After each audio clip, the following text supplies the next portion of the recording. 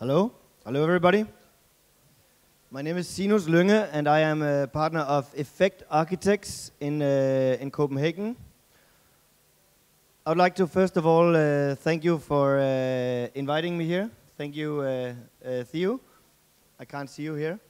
But um, I've been following CANactions for for a couple of years, and I'm quite delighted to be uh, invited to come here and speak. And especially, I'm delighted to speak about resiliency because this is an issue that is increasingly uh, taking up our uh, attention in the office uh, more and more because we think it's a very uh, uh, sort of uh, crucial topic to to address quite directly.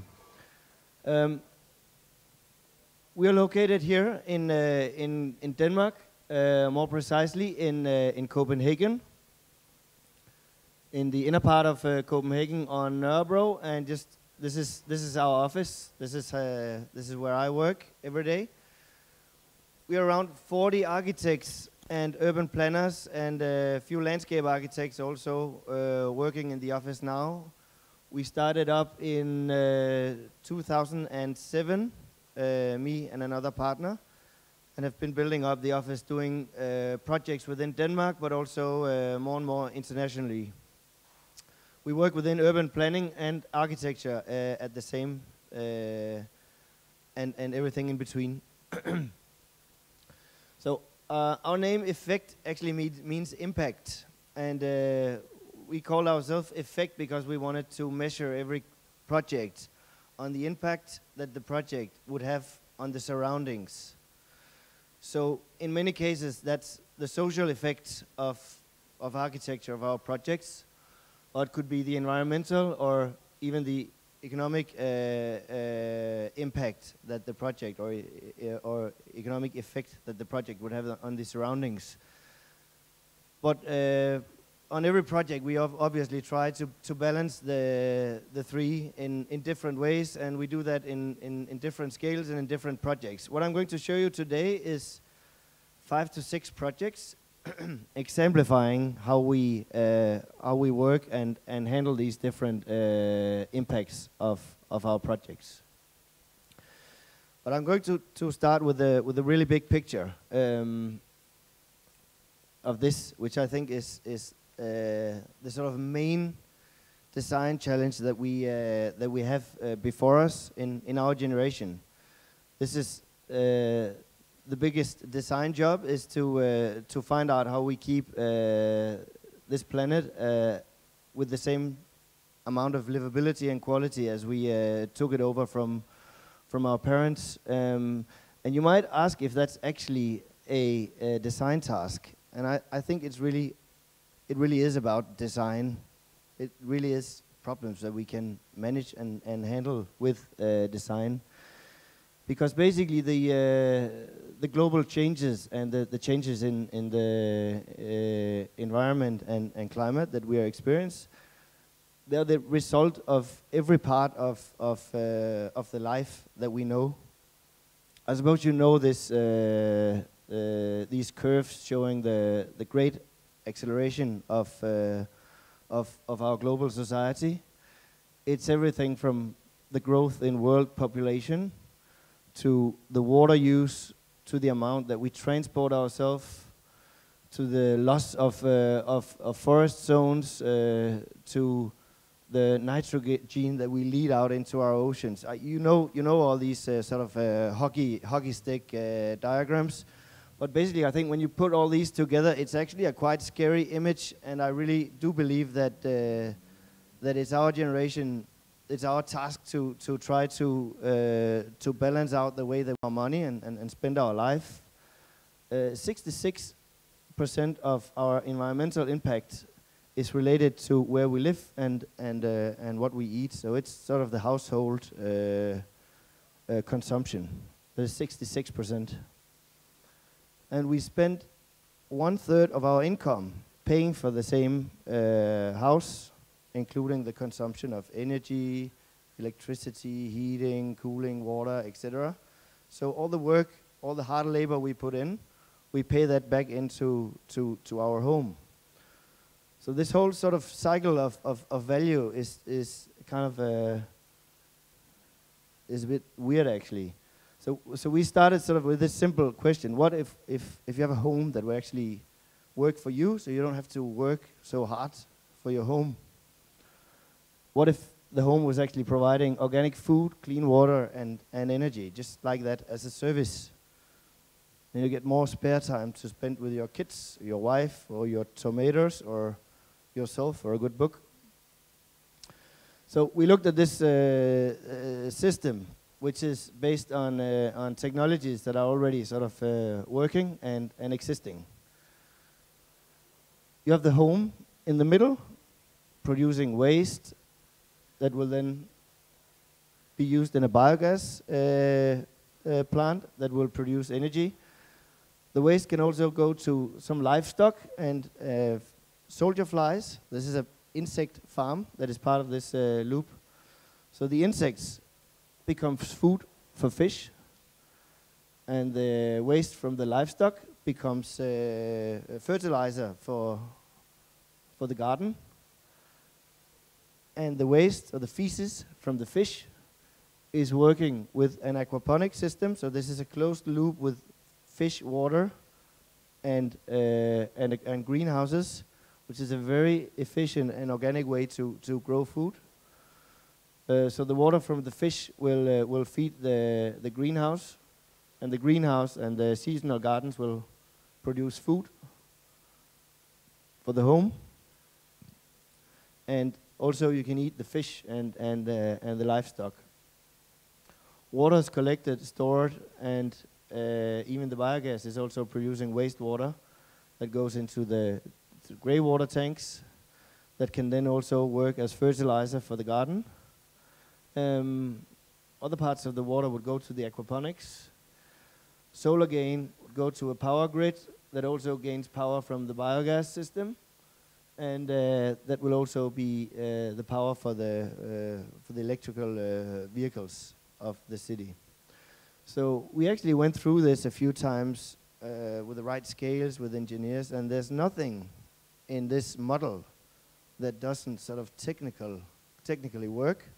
It's a difficult business case to do, and it's difficult to get the the scale working, and it's also difficult to get the legislation normally when you buy a house, you only buy for the brick, you only buy the bricks and the plot. You're not buying all the systems producing energy, food, and everything else. You have to buy that elsewhere. So to completely change that business case is, as it turns out, quite uh, uh, quite complex. But the technical system is feasible and it and it works. So right now we are trying to get this uh, first prototype built in Almere in in Holland, and and the first design, which is a prototype design, looks like this. So it's 24, 25 different houses. And then you have the sort of most intensive food production in the center of the village. So this is also the sort of uh, center of, of community. So this is also where you have all the social spaces uh, in the center. Like we did the whole design, so everything is actually designed within greenhouses because we thought it would be nice if you're not only growing food in sort of big industrial greenhouses, but you can also grow food in the little winter gardens uh, in your own house. So the infrastructure and all the sort of uh, common spaces, because the social part of this is really quite uh, important. We think that the, the size of this community is pretty important, because if you're around 25 families working here, you don't want to have some like really low paid African immigrants working here to produce the food for the rest of the society. That's how it is today. Like if it's a small community, you want everybody to to feel well. So basically the, the, the principle of being having everything close by is that you will watch that the tomatoes are grown in a nice way. You will watch that the people who are growing the tomatoes are also sort of uh, feeling well. So the idea of this is not that it's a big community and everybody is farmers. It's really a service. So somebody inside the village or from the outside will be paid to farm, and the rest of the community will receive every day a small sort of box of uh, freshly local uh, uh, uh food products on the doorstep every morning. That's the business case of, of our client, Regen, uh, Regen Villages. So this sort of quite uh, um, uh, intense uh, growing inside. You can actually have the space to have uh, biodiversity and seasonal uh, farming on, on the outside. So the inside of, of, uh, of the village is uh, sort of not an industrial food production. It's somewhere in between sort of your own greenhouse in the garden or and, and sort of a, a bigger bigger system. But basically it's quite important that you have these social spaces where you can meet and sit the food is produced in seasonal gardens, in greenhouses, in heated greenhouses, and in aquaponics. And the aquaponics are the most sort of efficient uh, uh, growing system. They work like this: that you have fish in a tank, and it's a closed uh, circle, and you cannot put any chemicals in it because then the fish will die. So it has to be organic, basically. So you take the water from the fish, and that's just fed like hydroponics directly to the plants. So they're growing in in the water, and it's a very, very efficient way of, uh, of growing. In fact, you can reduce the, the, the sort of uh, footprint of, uh, of growing with 98% uh, and, um, and only use 10% of, uh, of the water that you'd use on a regular field. The greenhouses that we are planning are basically winter gardens for, for all the homes so that you'll have inside your home, you will have this sort of preheated uh, uh, area here where you can uh, grow food. So this is obviously a concept that will only work for the northern hemisphere. If you go further south, this will be too uh, too warm. But for for countries like Denmark and Holland and uh, and, and Scandinavia, it's really sort of stretching the season of being able to to come outside and uh, and be in the garden. So inside that you have a dry house, but that's where you have the sort of uh, real climate screen for the house. But we wanted to bring the sort of uh, planting inside, so you you can here have uh, have uh, lemons or, or, oranges or something that you couldn't normally grow in a, in a Dutch uh, garden. So basically, we're trying to move away from the sort of uh, ego model to the to the eco model, where we, we sort of bring back a good sort of a good and healthy relationship between the, the people and all the ecosystems that, uh, that, that they engage with. So that's uh, the, the regen villages, and uh, we're just putting it on, on the Venice Biennale uh, now and starting to uh, release the, the press. We still, not have, we, we still don't have the financing for the first uh, model, but it's going pretty well. So I really believe that we're going to build this in, in Almere within the next few years and we'll make sure that uh, we'll put it in the media when we do so. So that's Regen Villages. The next project is also kind of a, a, a crazy project that we uh, involved in, in uh, on our own terms. This is a project that we just couldn't help ourselves uh, stepping into. This is Copenhagen, and uh, Copenhagen is very much defined by the harbor going straight through the city. Um, so part of it is an island, and this is actually the ocean uh, going through. And ever since Copenhagen was established, it was defined by the city, by the by the water, and by the life that was uh, around the water. This is the old uh fish market that used to be uh, sort of very heavily populated with uh, with fishing boats, and and in the summertime and mornings, a big market also. in the last century, uh, industrialization started to completely take over the harbor front. And for a period of time, we had big warehouses and, and factories along the whole harbor front. So no longer it was a place for the public uh, to come and, and thrive. But then in the 80s, there were big uh, riots because you had uh, a few accidents.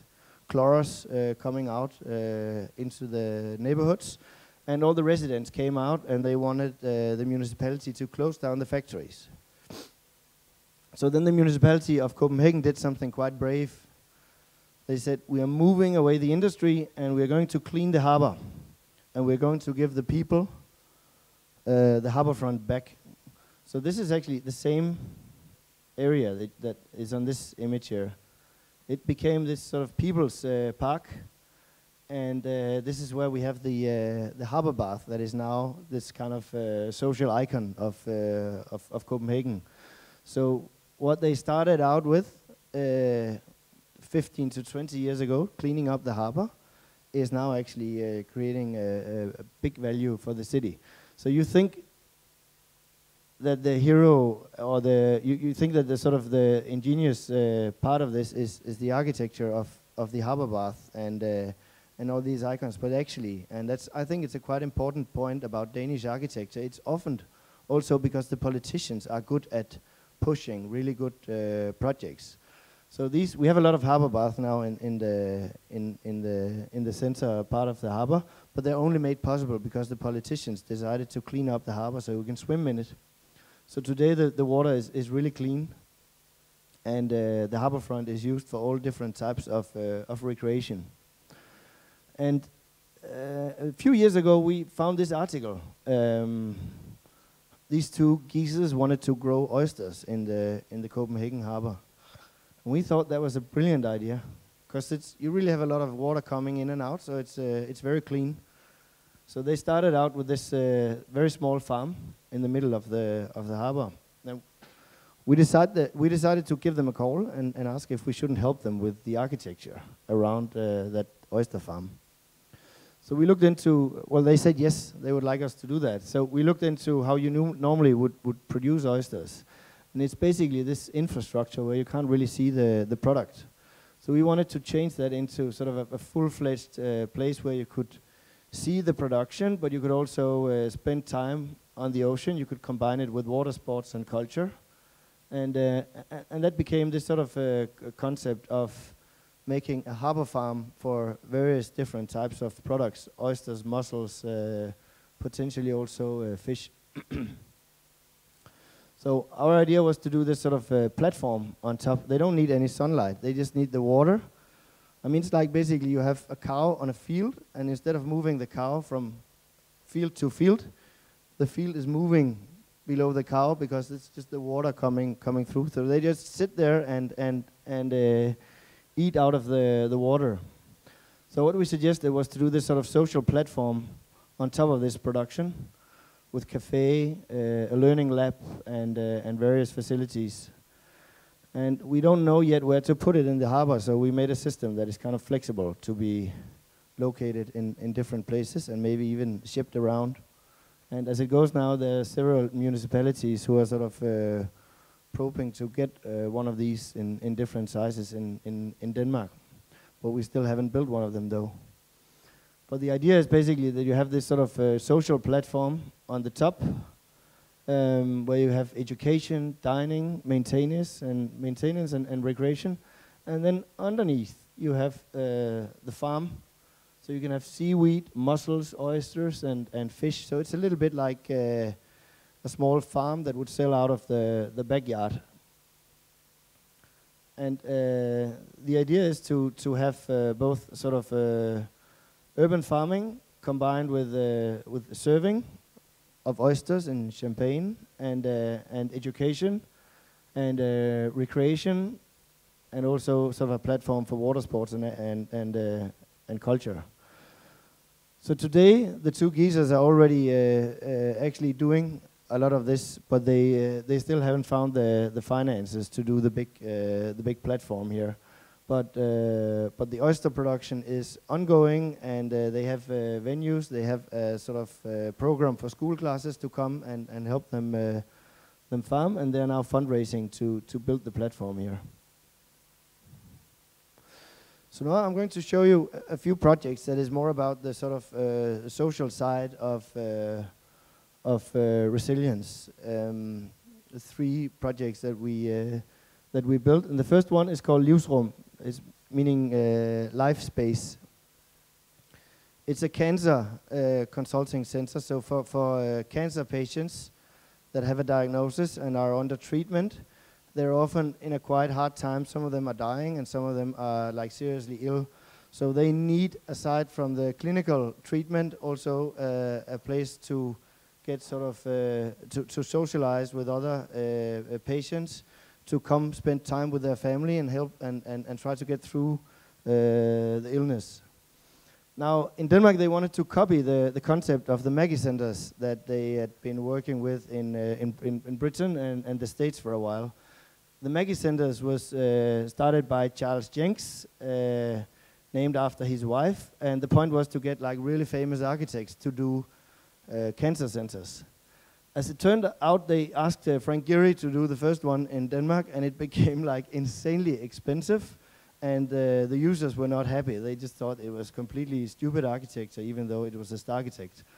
So the, the cancer organization thought about what, what are we doing here? We cannot spend our money like this on a super famous architect who didn't like really provide the, the quality. So we're going to do something different. We're going to ask the young architects of Denmark to team up with, uh, with constructors, and then they have to do super cheap, high-performing cancer centers in, in Denmark. So that was the concept. And we got this uh, site uh, alongside this huge modernistic uh, hospital. You can see this is where the treatment is going on. It's not a very nice place. It's not a place you want to socialize or basically talk. It's very sort of functional. And what they wanted was really to have this uh, uh, uh, place where you could have other types of aspects of, of the clinical treatment, places where you could talk and, and socialize. So that was, in short, the program. So we decided to try to do a place that was not an institution that did not like look like a hospital, but actually, uh, in fact, looked more like a home. So there's kind of this uh, social design of saying, let's try to do something that will be as cozy as coming into somebody's living room where you re really want to feel like, uh, like staying. Um, so this is the site. Here you have the hospital up here and uh, the little side is here. You have a quite big street here, and this neighborhood of, uh, of villas uh, around. So we wanted to sort of tap into the villa typology, and the first thing we did was to kind of break down this big program into seven small units, and then we put them together like sort of villages of, of, uh, of small houses, each with one function.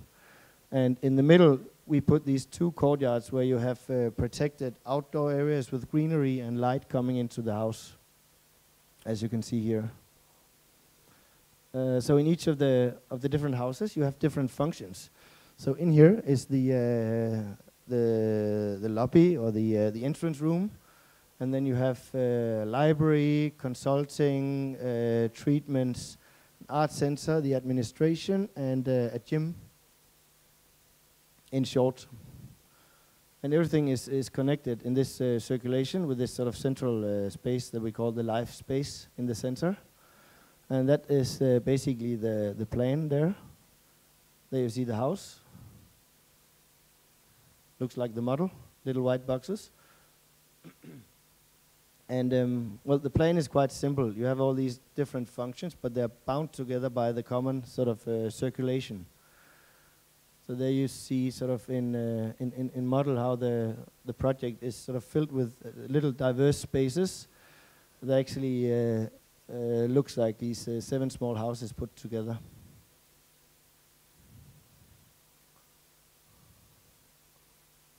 Oh, there's a few images this coming up. So the entrance was done in, in wood to actually make this sort of uh, extra warm and, and welcoming uh, entrance space. And when you, once you come inside, you come into this sort of uh, living room. So we didn't want to do a reception. So the people working in this reception, they'd be sitting here with coffee and, and, and newspapers. So you come in and you can sit down and, and, and have a chat and then find out uh, what you want to do in the house. So it's basically, the idea is that you, that you come there and you feel like uh, hanging out and it's working quite well because the, the, the, house is completely booked also by the other uh, staff of, of, uh, of the big hospital who would rather have their meetings and everything in, in this house. So here you can see in the section the diversity of, of small spaces uh, throughout the house. This is the courtyard and this is the, the hallway. You can see how the courtyard is, is, uh, is working for celebrations and uh, and activities, and also as this sort of simple uh, sense garden where you can uh, hang out and, and, and cool down if you need so. So basically we did this project with so many different sizes of spaces, so you would always feel a space that would have the size of the mood that you were in. So you can be together, or you can be alone, or you can be two by two. And uh, some of it is like these little niches built into the to the library here, where you can sit and, and have a conversation uh, in intimacy. This little bit, this little small project, it's 800 square meters, and it was a quite cheap uh, square meter price. Actually, won the building of the years of of uh, Architizer in uh, in 15, which was a complete surprise because that's uh, voted by architects from from all over the world. But but somehow it uh, it beat all the big hospitals uh, for this price, which we are quite uh, proud of, of course. Um, the next project is also uh, a smaller project that we have just opened up in in January this year. It's called Street Mecca, and it's a project for a new type of of, uh, of sports institution in Denmark uh, for street sports, for skateboarding, street basket, futsal, and uh, street dance, and uh, and um, and all the like DJing and all these activities that are related to to street culture. Because we are experiencing in Denmark that the young people they don't want to play football two times a week or handball. They want to do other stuff. They want to hang out with their friends. So basically, they're not doing so much sports anymore. So, and at the same time, you have the sort of curve of, of skateboarding is just the most sort of uh, exponentially growing sport in, in the world. Uh, and in Denmark, the growth in, in unorganized sport is, is quite big. So there's this foundation called uh, Game who wanted to, to test if you could do this sort of new sports uh, institution, and we were invited to, to take part in one of these uh, competitions. So we were uh, asked to do the design in this uh, existing building. It's an old sort of uh, turntable uh, train yard. And all that was left over were these two houses, and this is the, the oldest buildings in this quite new city called, called Esbjerg. So the municipality really wanted to keep the buildings, even though they were in a quite poor condition. This is uh, how it used to, to, to work for trains to be repaired. And this is how it was sort of developed over time and uh, till the time when we took it over, it, there were only these two buildings to get to back. So the idea in the competition was actually to revitalize these two buildings into heated spaces. But we thought that was a really bad idea because they were very worn down and it was wooden constructions on the inside and it would cost a fortune to do that. So we suggested why don't leave them like they are and then build some new houses and use them as sort of outdoor spaces. And that's basically how we won the, the competition. So the program was basket, uh, hockey space, uh, all these different little functions for street sports um, that we put into to these asphalt maker, yellow box, brick maker, lounge maker, dance maker, concrete mecca and we put them sort of en suite. So they would have sort of uh, the street on the outside, but since it was this kind of round uh, structure, we just put it into the existing and, and, and wrap the rest. So you have this uh, quite nice uh, central space in the middle.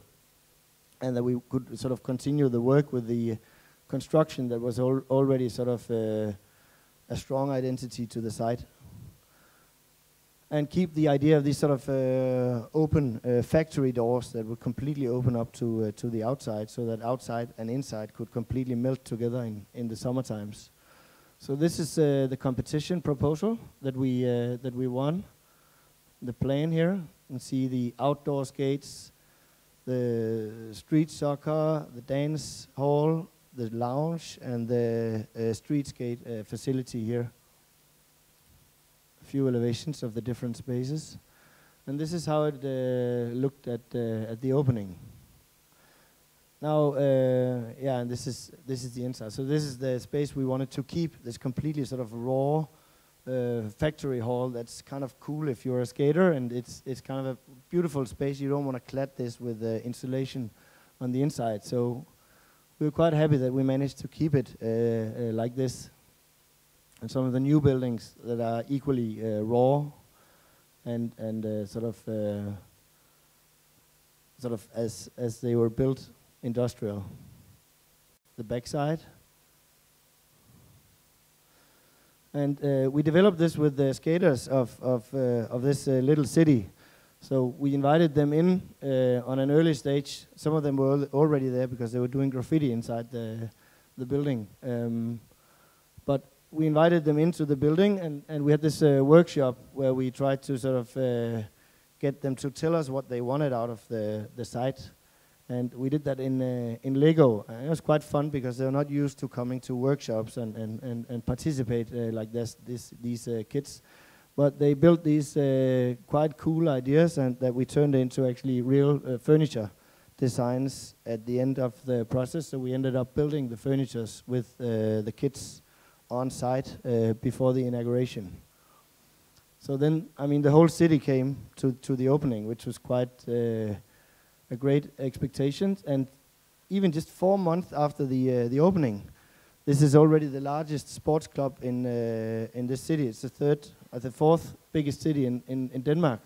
So it's uh, insane how this new type of, uh, of of of street culture and street sport is just sort of taking over the old uh, sports facility, and how you can actually make a completely different space for a sports institutions than, than the one we are used to to see. So now there are two new competitions in, in Denmark for similar spaces, and uh, the organization games are moving internationally also to Lebanon to to do projects like this.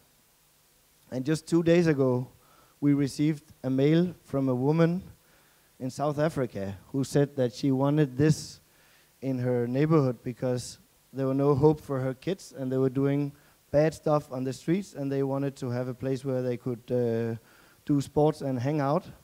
So we put her in contact with the with the organizers and hope that uh, there will also be a project in, in South Africa. The last project that I'm quickly going to show you is, is a little bit similar. It's a project that we did with a Danish television. Uh, so it was basically a TV program and a project. So it had to be done in only four months over a summer. The idea was to put four teams of architects in four different cities and see what you could manage in uh, in in in four months over a summer, and how you could sort of uh, engage the local community in building something. So it's called Build It Up, and we came to uh, this little. Uh, city of 7,000 inhabitants in the northern part of Denmark. It's a city that is shrinking. We did this uh, uh, skate park that you can see here. So I'm just going to tell you the the story of, of how we got it built. Like this was this is our client. This is uh, the the kids of, of this city who uh, managed to uh, to um, persuade the national uh, television of Denmark that uh, they should be one of the site. There were 800 applications from all over Denmark with different projects, so they became one of the four. So we took our car and drove the eight hours to to meet these guys and they had this kind of really lousy place uh, for skating uh, on the harbor front. So we thought we were going, I mean, couldn't be worse than, than this. And the first thing was that we had a battle with the mayor who, who came sort of, he was suddenly in the media and he didn't really think about, uh, everybody was super proud about these uh, little kids, but the mayor didn't want to have uh, this skate park in, on his harbor front. So finally, we got this quite uh, toxic uh, place on uh, that was sort of uh, out of use to turn that into uh, to a skate park. So 80, 80 by 20 meters. We decided quickly that we wanted to do both skates and but also like a real park for the for the city. So it was not only for the for the 50 kids with with skateboards. So in short, what we did was to create these uh, skate loops, this kind of romantic park for skateboarders where we then shaped all the edges so it would become sort of a perfect flow for, for skaters to move in. And we had uh, workshops uh, with the kids. I'm not going to go too deep into to that, but they had a lot of wishes, wishes for, for skate obstacles that we sort of included in, in the landscape all the way around. And then the surrounding part, we, we sort of kept that for the city to decide and, and to come up with, uh, with ideas. So we wondered how to get in contact with these sort of 7,000 people in, in this uh, little uh, area, and we put articles in the newspapers saying like, please call us or mail us if you have any ideas. And we got a few mails and a few calls, and it didn't really work out.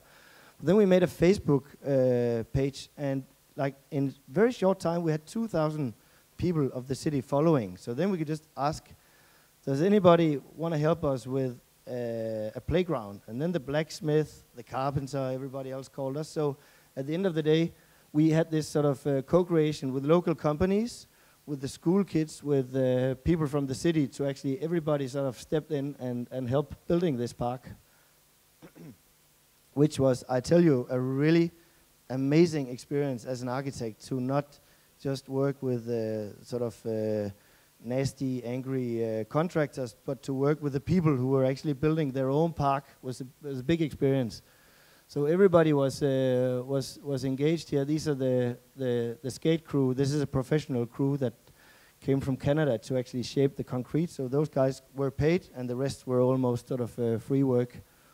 We even uh, yeah, this, these are the American students, uh, interns that we had on the team, raising uh, the the the flagpole in the middle of the of the park. We even have children's labor uh, engaged also. The policeman was also there, so we didn't get arrested.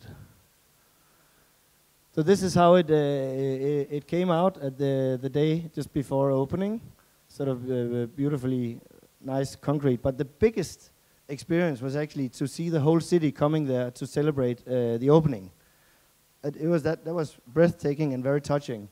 So this is the mayor, and uh, there are almost 2,000 people there opening uh, the park. And as you can see, finally, the mayor got to love the project with his city. So we celebrated together at the end.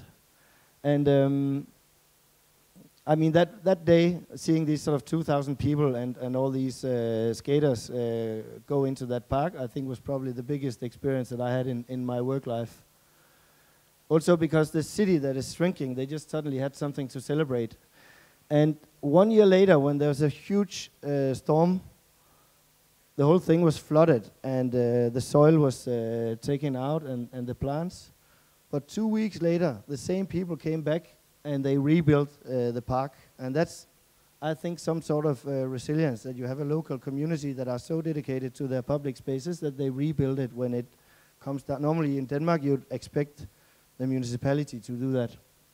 So that's a very good uh, experience. And finally, the the project make it, made it to the front page of the Danish uh, architecture policy called uh, the people in center. So this is the the policy for, for architecture nationally in uh, in in Denmark, and it's it says something about the political focus on working with uh, people as a way to create uh, sustainable uh, projects that create value for, for the cities and not only the, the developers. Thank you.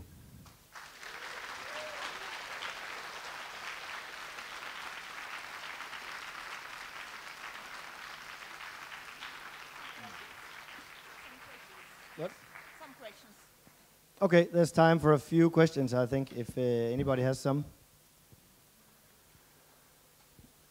Піднімайте руку, я підходжу до вас з мікрофоном.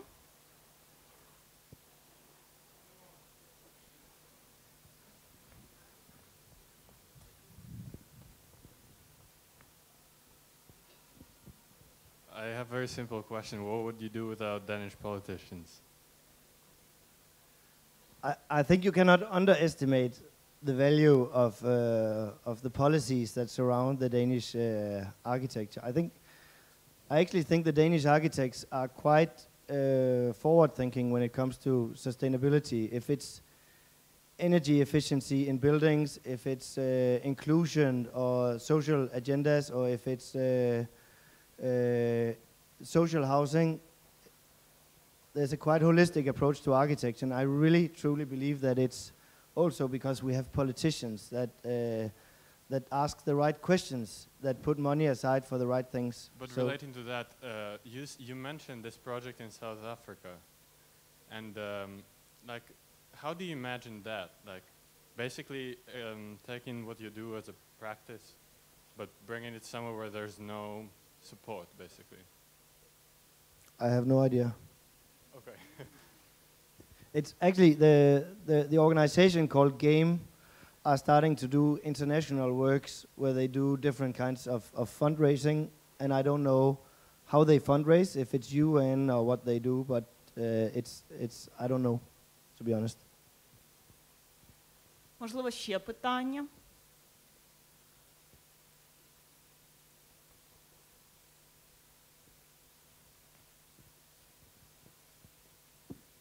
Hello. Uh, what's your aim? What's your dream? Well, I, think when we are doing a project like the one with uh, Regen Villages, that that's a project where we have potentially uh, we could have quite a big impact because it's not to be done only for the rich people in, in Holland. That's the first sort of uh, place to build, and then it's supposed to be sort of uh, developed also in the developing countries. So that's I think a project where you can really see uh, how architecture can make a really positive uh, change to society. And basically, well, we do, we really love doing cool design like every other architect, but we we really basically uh, we're quite happy when we feel that there's a content that can really make a difference. So that's sort of uh, the professional dream that, that we work with in, in our company. Ще питання.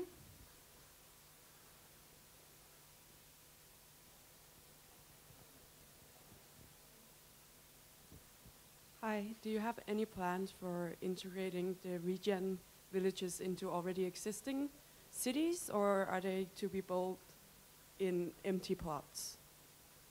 No, no, it's uh, super relevant to, to think about because what you see in, in Denmark, as in many other uh, uh, countries, is that people are moving from the countryside and into the city, and it's very expensive to move into the city, and the countryside is a very sort of cheap uh, land to acquire. So it's very relevant, and it's something that we're really thinking about uh, how regen villages could be helped to uh, refurbish uh, villages that are being sort of uh, left over by people moving away. So it's very relevant.